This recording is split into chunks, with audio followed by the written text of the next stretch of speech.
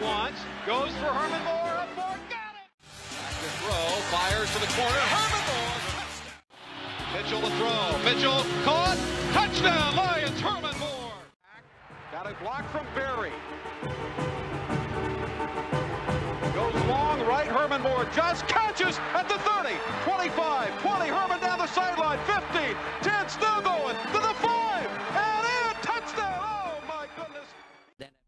had my, my breakout opportunity against the Dallas Cowboys and our, our playoff victory against them. I caught my first touchdown in the NFL in the corner, the right corner of the end zone.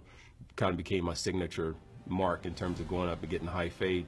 And I, I felt at that moment uh, I had arrived, and it was now time to start just ascending and going to a different level.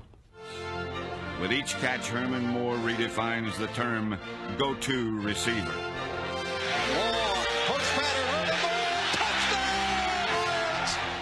If we threw the ball, we already knew what pass it was going to be. It was going to be a high fade to the corner of the end zone to Herman. The high fade is something that became a real good signature of mine because of a former high jumper over 7'2". It was one I felt that if I could get a high pass or get a ball thrown to me, it wasn't a player in the league uh, that would be able to contest that or be able to contend with me going for the high pass.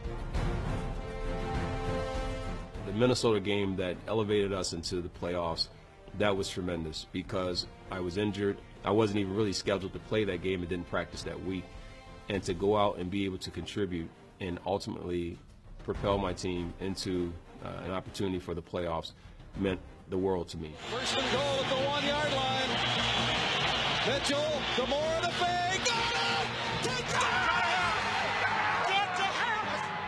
Me, I, I wanted nothing but the best, not only for myself, but for my teammates and for this organization. And if you play with that confidence and that attitude, then that's when you achieve and you accomplish. Nobody has seen a receiver go over 100 catches, and Herman went over that 100 catch mark, and I mean really went over that 100 catch mark. So it was it was really astounding to see that unfold in front of us. I do think we had the greatest show on turf. Somebody else got that credit, but we had the greatest show. I would say my greatest asset was uh, I'm a competitor. A lot of people talk about receivers one in the football. Uh, I wanted it because I felt that if it was in my hands, I was going to do something special with it. And you have to have that type of unwavering confidence to be successful in the NFL. Oh, man! He breaks another tackle to the 10. Pulled down from behind at the four yard line. What an effort! Back. The day that I was uh, sitting on the set with Dan, and I didn't envision or think that Rod was there to also mention me. So, to my surprise, uh, when he mentioned that, uh, it was it was an honor. Yeah, we're adding one more person. He's on the set. And it's not you, Dan. I'm sorry. I didn't make it? What? Congratulations, man. oh, man. Thank you very much. Congratulations. Wow, now that's a surprise. it means a lot to me, but I know it means a lot to our fans. It means a lot to this organization. It means a lot to those who, who follow this franchise to know that uh, another players going up there that really love this organization, love this team, and love the city. From 1988 to 1990, quarterback Shawn Moore and wide receiver Herman Moore formed one of the most lethal passing combinations in college football history. The pair of first team All Americans connected for 27 passing touchdowns over a period of three years and set over 30 combined NCAA, conference, and school records during their careers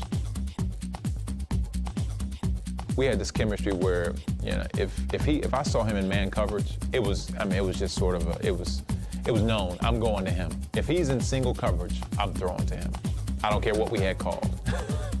it didn't matter. On offense, Virginia struck quickly as Shawn Moore connected with Herman Moore for two scores before halftime, building what proved to be an insurmountable lead. I don't think there's been a better receiver.